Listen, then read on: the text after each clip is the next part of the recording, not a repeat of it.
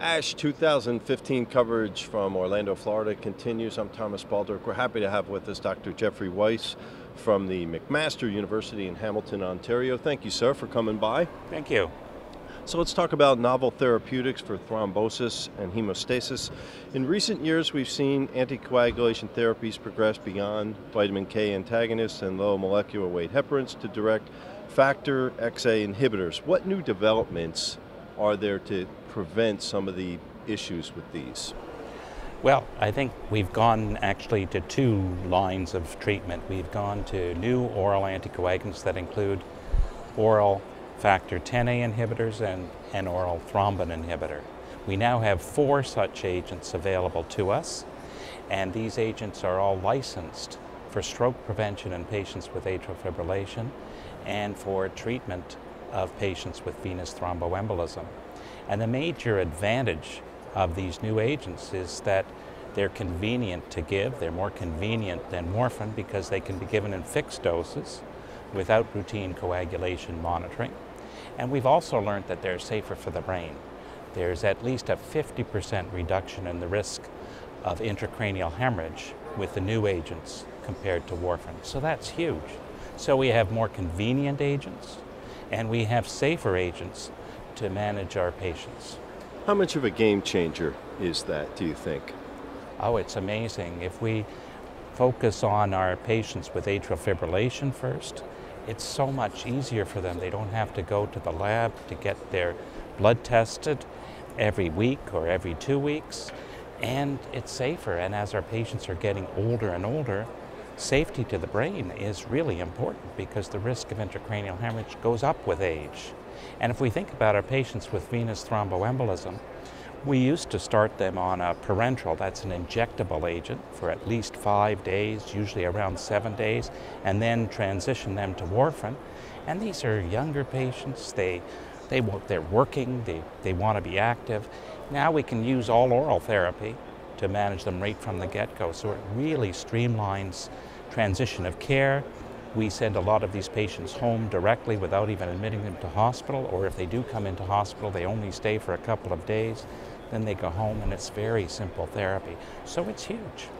What can you tell us about the uh, presentation that you've got here at ASH?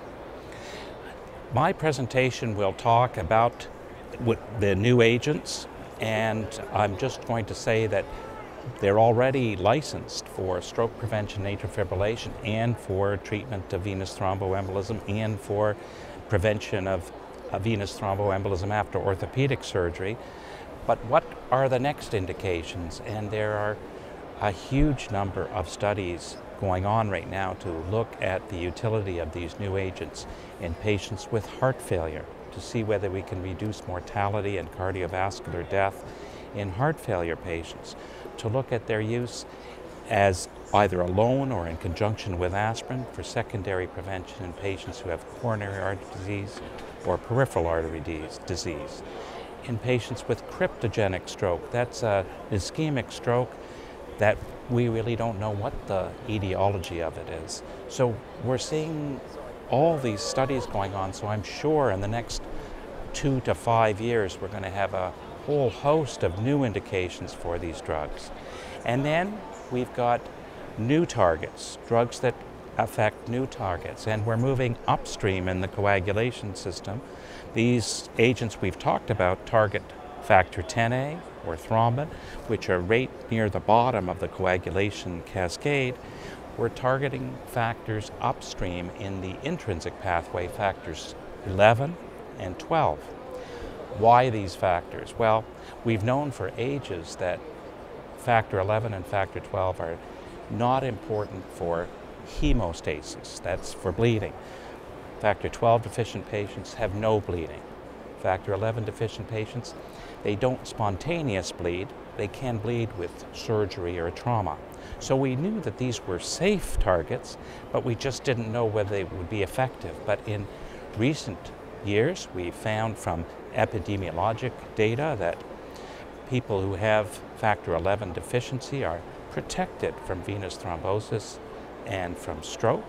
People with high factor 11 levels have an increased risk of these problems. And we've learned from animal models that if you knock out factor 11 or factor 12, thrombosis is attenuated. So these two factors now we know that they're very important for not the initiation of clotting, but the stabilization and growth of a clot. So if we can inhibit them, we have the potential to attenuate thrombosis without causing bleeding, and that's really the holy grail of anticoagulation therapy. And just earlier this year, we did a study in patients undergoing knee replacement surgery where we used an antisense oligonucleotide to knock down the levels of factor 11 before the surgery. And we showed that compared with the standard of care, a low molecular weight heparin prophylaxis, knockdown of factor 11 significantly reduced the rate of post-operative venous thrombosis without increasing the risk of bleeding. So it's very, very promising area of research, particularly in patients who have a high risk of thrombosis but also have that high risk of bleeding. Great progress continues. Right. Best of luck with your presentation. Thanks for joining us.